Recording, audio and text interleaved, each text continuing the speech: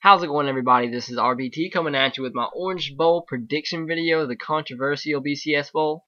Florida State versus Northern Illinois. People, as you all know, saying that Northern Illinois doesn't deserve a shot in this game. They don't have a shot to win. They don't deserve a shot to win.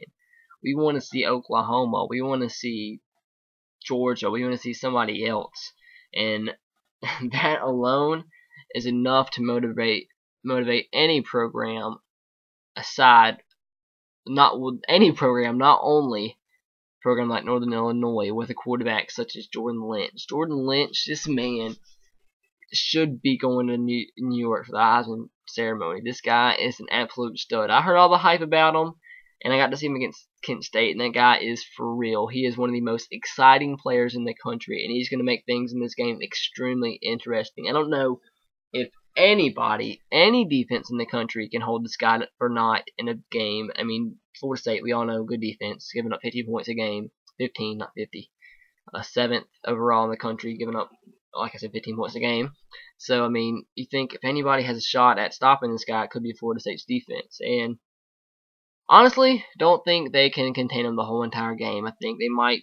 I mean, it's they're um, Northern Illinois is gonna their eyes gonna be wide open when they see walk onto that field and they see the size of this Florida State defense, Florida State offensive line, and the whole entire team in general. The skill positions they have, the overall depth, this the skill in general is so much better. The size is so much better on Florida State compared to Northern Illinois. It's old Northern Illinois.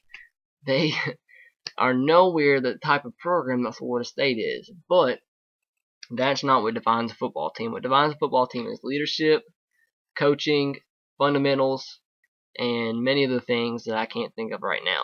And Northern Illinois, with Jordan Lynch as their leader, he's definitely going to emerge as unquestionably, if he wasn't already, the number one leader on this team. Because if you all know, their head coach accept the head coaching job at NC State. Don't know why you would do that. I mean, your team would never had had zero percent chance at making a BCS bowl before the year. Lost the game and still has a shot at winning the Orange Bowl against Florida State, the big traditional power in Florida State, and they have a chance. And he leaves, which I think is sad. But I mean, it is what it is. And people like to complain about Northern Illinois. They say they lost to Iowa, blah blah blah.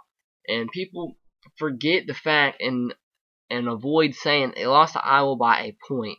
They barely lost that game. Iowa had to come back to win, and it was the first game of the season. So I mean, teams are so much different now than they were early on in the season. And usually, when you see a team like Northern Illinois who busts the BCS as a great offense, great quarterback, explosive team, you think they have a, a bad defense. But let me look at the stats. But I, I know Northern Illinois has an extremely good defense for a team like Northern Illinois. I mean, for a MAC team, they have one of the best defenses in the MAC. They're giving up 19 points a game to be exact, with it, which is 18th in the country compared. I think what did I just say? Florida State was 17th or 7th. That's what's that a four point difference. I mean, uh, they they have a good defense. They have a good offense. They're overall a really fundamentally sound, good football team. And don't forget, they have a running back. What is his name? Uh, Settle. His last name is Settle. He's been out for a long time with an ankle injury or somewhat of an injury, and if he's going to be healthy for this game, so he'll be back. Their wide receiver Martel Moore is an extremely explosive receiver. Don't sleep on him. He has over a thousand yards in the year. So this is a really good football team with talent around them at the skill positions. I mean, of course, the offensive line is going to be a mismatch, or the lines in general. And I think Florida State will be able to run the ball in Northern Illinois, definitely. I mean, they'll get big plays. They'll explode. They'll have they'll score on will, but I think Hart alone and the quarterback position, I mean, I hate to say it, I hate to compare with the talent levels, but I mean, Jordan Lynch is probably a better quarterback than EJ Manuel. And I said this in my Louisville, Florida prediction. When you have the most important position in football is quarterback, and when your quarterback is better than the opposing team's quarterback, you have a chance to win no matter who is around them. They have a chance to win because they're not only the player that makes everybody else around them better, they're the player that touches the football every single play. Not the defensive line, not the offensive line, not the running backs, not the wide receivers.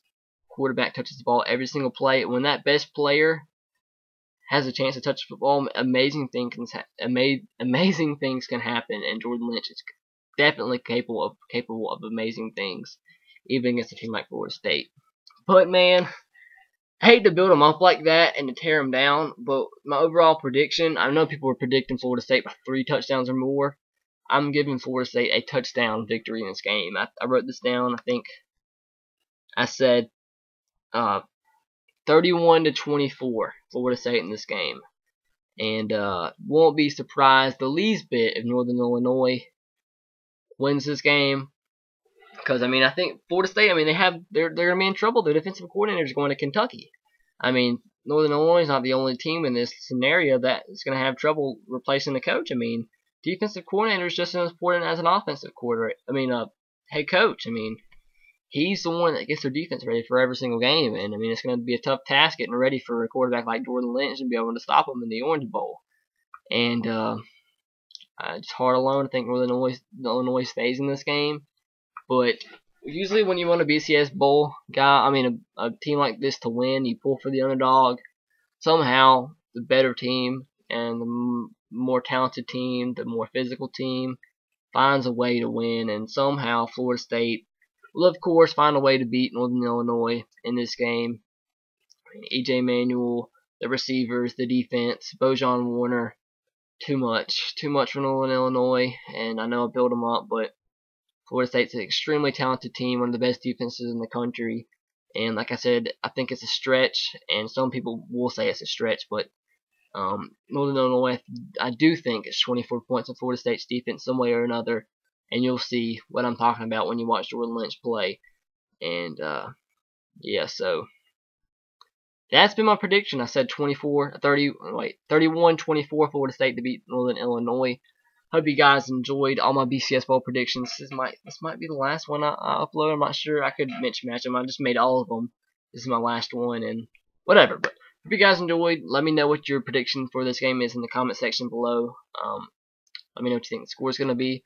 And uh, subscribe if you haven't already. And as always, roll tide, go Sox, and go Titans. See you. I'll see you guys later. Have a great